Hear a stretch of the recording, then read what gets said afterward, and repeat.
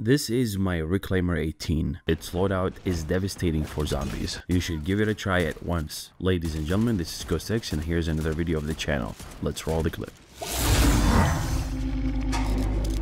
The best combination for this gun is Flawless Crystal, obviously, and you put Legendary Tool, I'll put the Napalm Ammo Mod, and also this Shot Daiquiri. And of course, we'll add Mega Folding.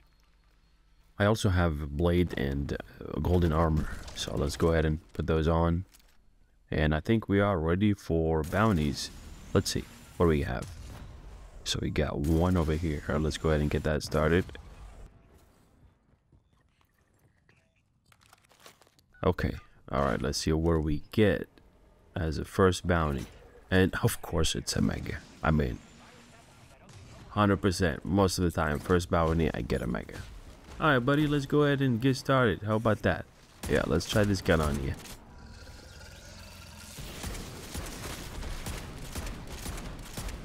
You can see like there's a, that health bar just went down with a couple shots and it's amazing. I can't get enough of this gun to be honest with you. And the reason I'm jumping with the Scorcher is just to trigger the Mega 2 laser. Here you go. Okay, I guess we can do one more jumping or scorching. Yeah, I think one more laser for this guy. Alright, let's do it. And almost, there you go. Alright, that's it. I mean, what is it? Um, 10 seconds? 15? I gotta calculate this. And let's see what we got in the rift. We got two survives. I'll take that and I'll take the mortar strike as well. Okay. I think we can go and against some perks. Let's see what we get. I'll get this, this, this, and that. I'll skip the, um, not the PhD flopper, the elemental popkin, because I really want to keep the napalm um, feature on this gun.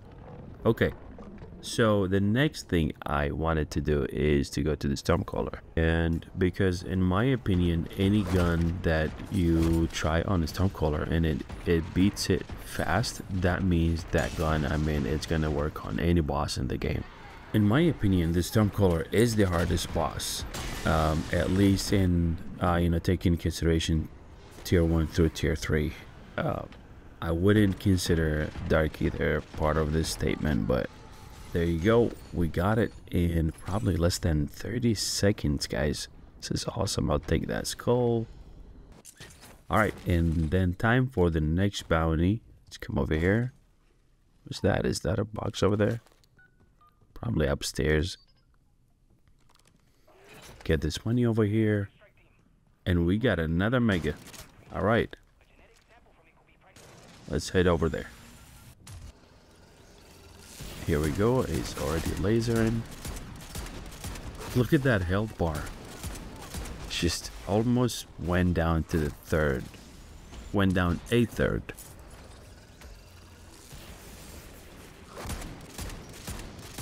If only these zombies let me just shoot the mega in peace.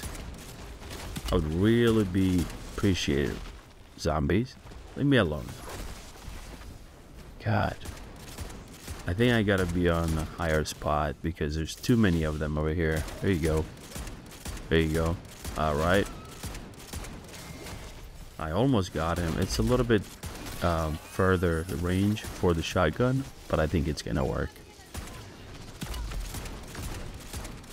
And boom, we got him. This didn't take long as well. Let's see how much we got. I'll take that sentry gun and zombies. Just leave me alone please. All right time for the next one. We got one just right there. Okay what do we got? Another mega? No it's an mangler. Okay. Poor mangler. This is gonna be nothing. Boom. For a second I thought that mangler was the HVT but no I was mistaken. The real HVT is right here Okay. Oh man, I think that was less than 20 seconds, guys. I can't really talk enough about how strong this gun is. It's just ridiculously awesome, to be honest with you. Alrighty. So this is another mega in basically the same spot. But oh my god, look at that firepower. It's just ridiculous. Ridiculous.